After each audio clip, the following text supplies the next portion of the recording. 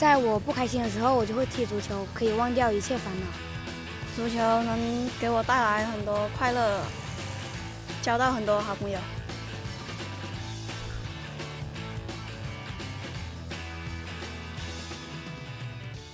榕江这个地方，它虽然是一个几十万人口的一个很小的县城，但是呢，它的整个的足球文化、草根足球的文化是有历史的。卡卡来孙超，因为刚好今年是中巴建交五十周年，所以卡卡又是巴西的对华友好的友人，他特地临时要求，让我们逐梦项目的孩子们也能够上场，跟大人们同场竞技。对这些榕江的孩子来讲的话，一起在场上驰骋，一起踢球，对他们来讲，无论他将来做什么，这都是人生最美好、最宝贵的记忆。